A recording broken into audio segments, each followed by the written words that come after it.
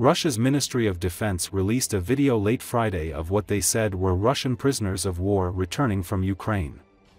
According to the ministry's statement, 95 Russian servicemen were returned in exchange for 95 Ukrainian soldiers who were to be repatriated.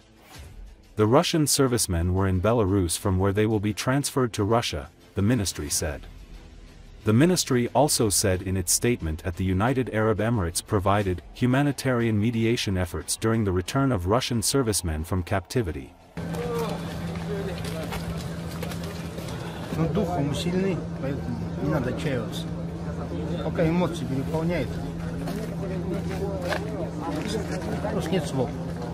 Ура! Есть тепло, тепло. 11, 12. Вот ты опять пришел там, на был первым.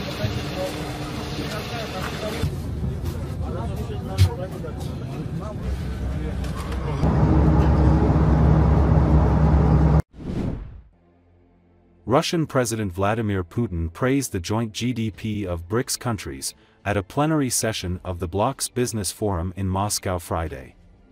Putin noted that the total GDP of the members of the BRICS Association is more than $60 trillion and that its total share in the world gross product confidently exceeds the corresponding indicators of the G7 group. The alliance, with a stated aim of counterbalancing the Western-led world order, initially included Brazil, Russia, India, China and South Africa, but started to rapidly expand this year.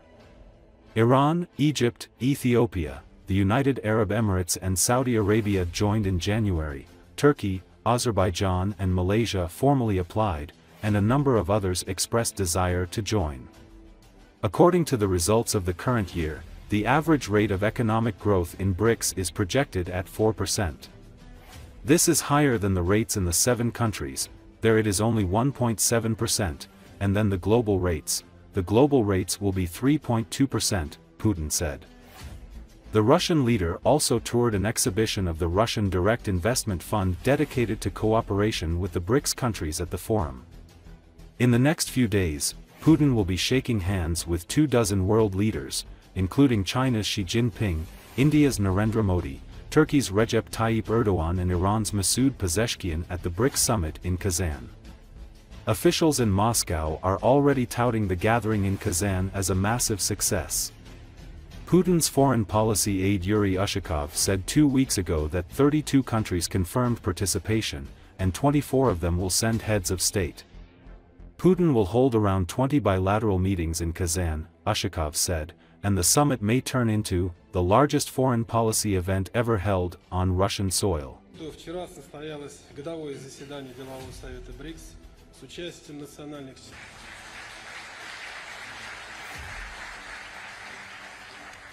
Дамы и господа, дорогие друзья, искренне рад приветствовать всех.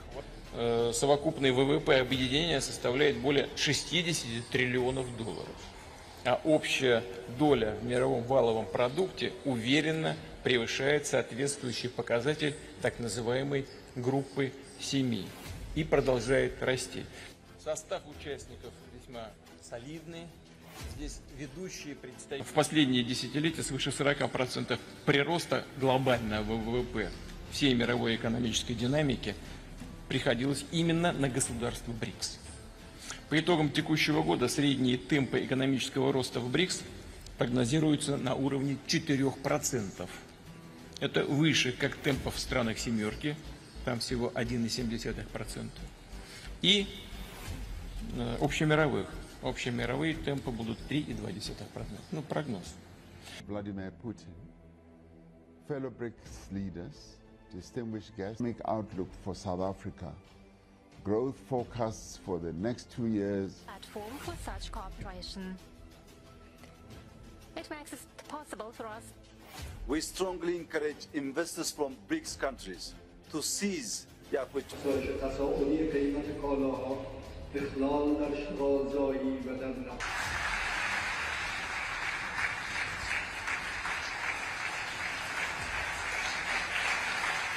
Что вот эта модель соинвестиций, она резко позволит нарастить именно акционерное финансирование